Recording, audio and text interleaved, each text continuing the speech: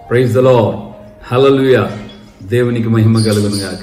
దేవుని పేరట ప్రియమైన ప్రియమైన దేవుని బిడ్డలందరికీ ఉదయకాలపు శుభాభివందనాలు తెలియజేస్తున్నాం మన కర్మేల్ రివైవల్ మినిస్ట్రీస్ ద్వారా దేవుడు అనుగ్రహించుచున్న ఈ యొక్క అభిషేక వర్తమానాలు మీకు క్షమాన్ని ఆశీర్వాదాన్ని దైవ సంబంధమైన వృద్ధిని కలుగు చేస్తున్నాయని మా ప్రగాఢ విశ్వాసము అలాగే మేము దేవుని సన్నిధిలో మీ నిమిత్తమై చేస్తున్న అనుదిన ప్రార్థనలు మీరు మా కోసం ఈ పరిచర్య కొరకు చేస్తున్నటువంటి ప్రార్థనల ఫలితమే ఈ పరిచర్య ఈ విధంగా నిరాటంకంగా కొనసాగడానికి ప్రభు సహాయం చేశాడు.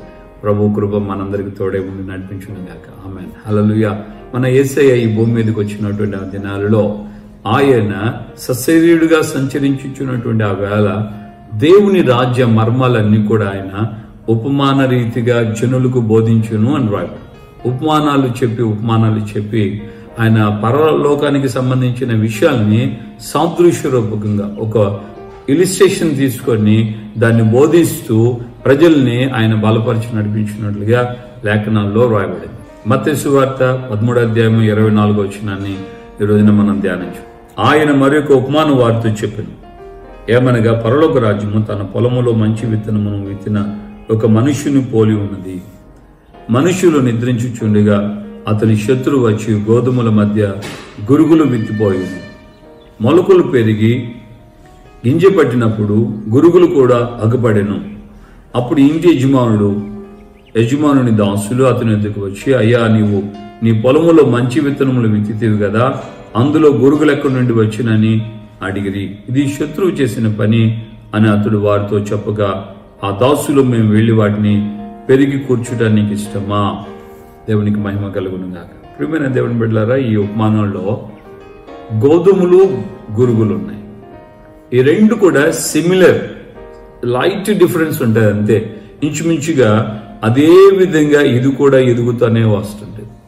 గోధుమలు గురుగులు కలిసి ఆ పొలంలో ఎదుగుతున్నట్లుగా మనం చూస్తున్నాం. గోధుమ దేవుని యొక్క వాక్యానికి సాదృశ్యం. గురుగులు సాతాను యొక్క క్రియలకు సాతాను యొక్క పద్ధతులకి లేక సాతాన్ డాక్టరీన్కి సాదృశ్యమైంది. ప్రియమైన దేవుని బిడ్డలారా మనం గమనించాల్సినటువంటి ఈ యొక్క లేఖన భాగంలో పొలము ఒక వ్యక్తి యొక్క హృదయం ఒక వ్యక్తి యొక్క జీవితం లేక ఒక సంఘం. సో విత్తనాలు గోధుమలుగా విత్తబడిన విత్తనాలు దైవ సంబంధమైనటువంటి విత్తనాలు లేక దైవ సంబంధమైనటువంటి క్రియలు దైవ సంబంధమైనటువంటి జీవితం. గురుగులు అనేవి సాతాను యొక్క సంబంధమైనటువంటి స్వభావము ఆలోచన క్రియలు.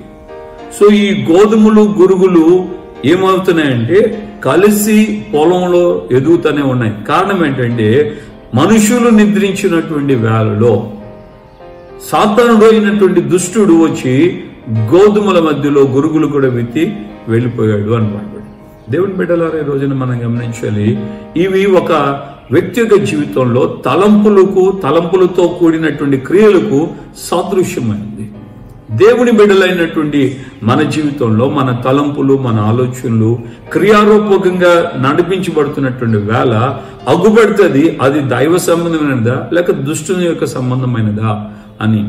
అలాగే మనం దేవుని యొక్క లేఖనంలో చూస్తున్నాం బాలుడు కూడా తన ప్రవర్తనను బట్టి తన క్రియలను బట్టి తన యొక్క జీవితాన్ని తన యొక్క హృదయాన్ని తన యొక్క స్వభావాన్ని వ్యక్తపరుస్తాడని దేవుని లేఖనంలో రాయబడింది. బాల్యము నుండి కూడా వాడి యొక్క నడవడి వాడి క్రియలను బట్టి వాడు ఎలాంటి వాడో వ్యక్తపరచబడుతుంది.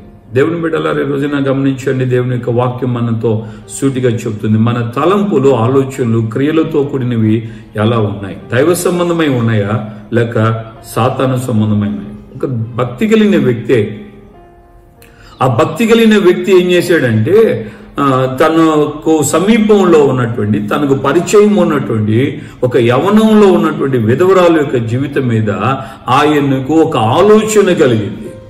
ఆమె యవనస్తురాలే కానీ విధవరాలు అయిపోయింది అలాంటి ఆ వ్యక్తి మీద ఇతను యవ ఇతను దైవికమైనటువంటి మనిషే కానీ ఇతని యొక్క హృదయంలో నుండి ఆలోచన భిన్నంగా చెడుగా చెడు తలంపులతో ప్రారంభించబడటం క్రియలు క్రియలతో కూడినటువంటి తలంపులు రావటం ప్రారంభించాయి. దేవుని యొక్క ఉద్దేశం ఏంటంటే దేవుడు విధవరాల పక్షాన వాద్యమాడుతాడు. విధవరాలను గురించి ఆయన బాధ్యత తీసుకుంటాడు తల్లి తండ్రి లేని వారి మీదను అలాగే విధవరాల మీదను ఆయన ప్రత్యేకమైన శ్రద్ధ నిలబెట్టి ఉన్నాడు. దేవుని దృక్పథం దేవుని ఉద్దేశం దేవుని ఆలోచన పవిత్రమైనది.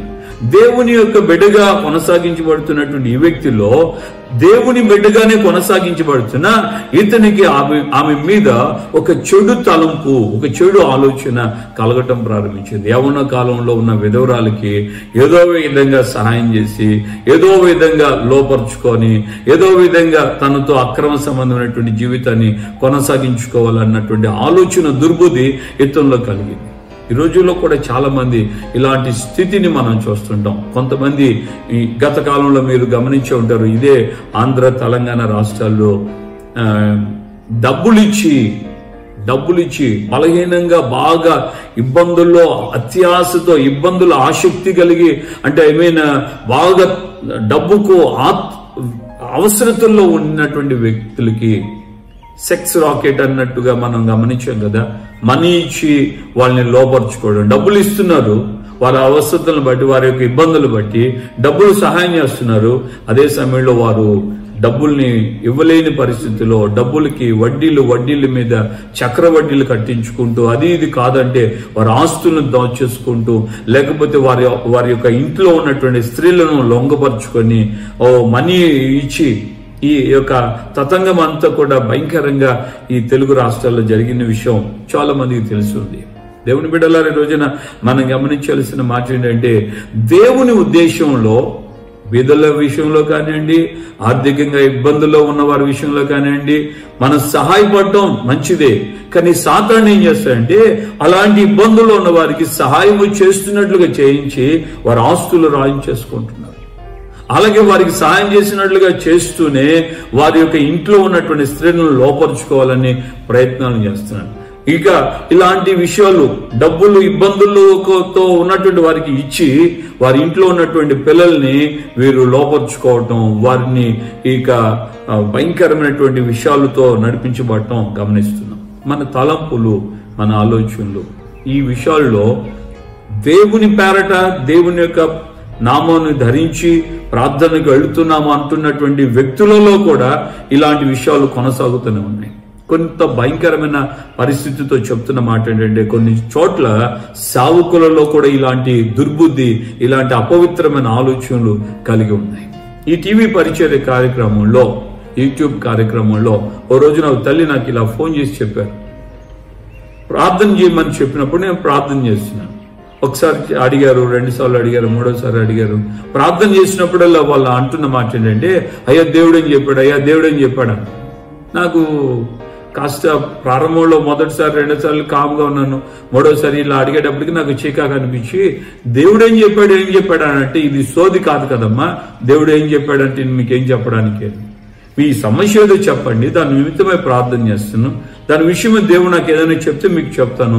అంతేగాని దేవుడు ఏం చెప్పాడు దేవుడు ఏం చెప్పాడంటే ఏం చెప్పను అన్నాను అప్పుడు వాళ్ళు అన్నారు అయ్యా మా సమస్య చెప్పడానికి ప్రయత్నం చేస్తే అయ్యా మా జీవితంలో టీవీలలో వాకింగ్ చెప్తున్న ఒక సావకునికి మేము ఫోన్ చేసి అయ్యా మా కోసం ప్రార్థన చేయండి. మా యొక్క కుటుంబంలో ఇలాంటి ఆర్థిక ఇబ్బందులు ఉన్నాయని మేము ఆయనకు ఫోన్ చేస్తే ఆయన ఫోన్ చేసాడండి ప్రార్థన చేశాడండి. మరుసటి రోజున ఆయనే ఫోన్ చేసి అమ్మ నువ్వు హైదరాబాద్కి రా నేను నీకు డబ్బులు ఇస్తాను. నాకు పలానా చోట నుంచి వస్తాయి ఇలా ఇలా కొన్ని విషయాలు చెప్పాడు. అని సరే అయ్యా నేను నా యజమాని ఇద్దరు కలిసి వస్తున్నాను అంటే ఆమె ఆమెతో అన్నాడట ఆయన వద్దొద్దు నువ్వు ఒక్కదాని రా. నేను హైదరాబాద్లో దిగితే రైల్వే స్టేషన్లో దిగితే దిగిన తర్వాత నేను తీసుకెళ్తాను. నీకు కావాల్సిన డబ్బులు ఇచ్చి పంపిస్తాను.